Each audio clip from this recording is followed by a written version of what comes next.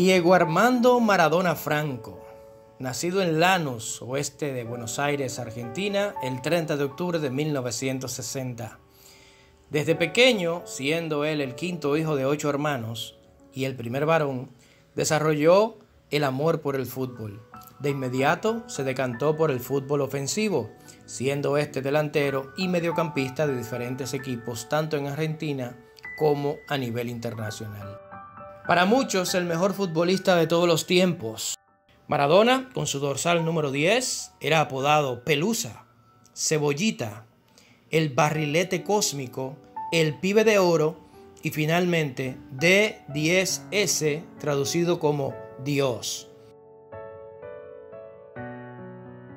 Inició su carrera en el fútbol profesional con los Argentinos Juniors de 1976 al 81 Luego con el Boca Juniors del 81 al 82, con el Barcelona en el fútbol de España de 1982 al 84 y luego su época de gloria fue con el equipo italiano del Napoli, a quien llevó de segunda división a primera división entre 1984 y 1992.